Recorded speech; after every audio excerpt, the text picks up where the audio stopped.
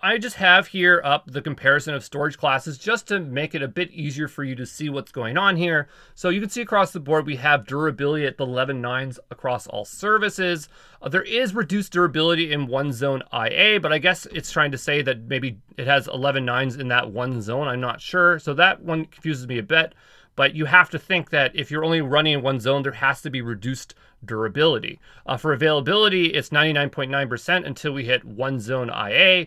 For Glacier and Glacier Deep Archive, it's not applicable because it's just going to take a really long time to access those files. So availability is like indefinitely slow. We're not going to put a percentage on that.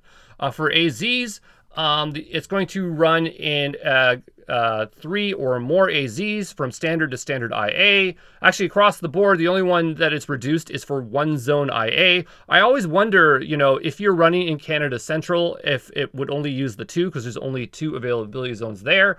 Um, so it's always a question I have on the top of my head. But anyway, it's always three or more AZs.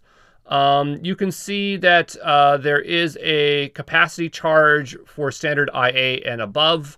For there is a storage uh, duration charge for um, in, uh, all the tiers with the exception of standard. And then you have your retrieval fees, which are only going to come in your IAs and your Glacier, okay? And then you have the latency, that's how fast you can access files. And you can see MS means milliseconds, so for all these tiers, it's super, super fast. Uh, and, you know, it's good to just repeat, but, you know, um, AWS does give a guarantee of, of 99.99% availability. It has a guarantee of 11 nines durability. All right. So there you go. That is the a big comparison.